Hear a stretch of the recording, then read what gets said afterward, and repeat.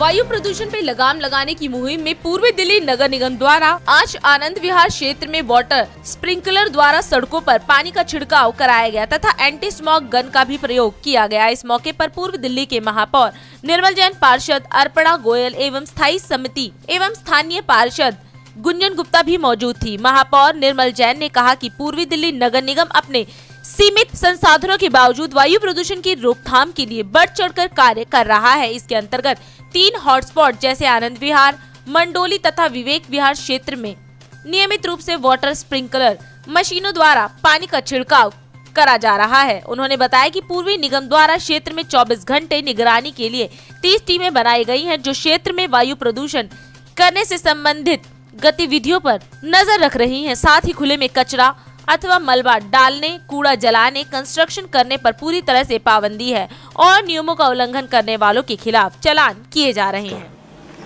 ये है डी में खबरें अब तक। इंतज़ार कीजिए शाम तक।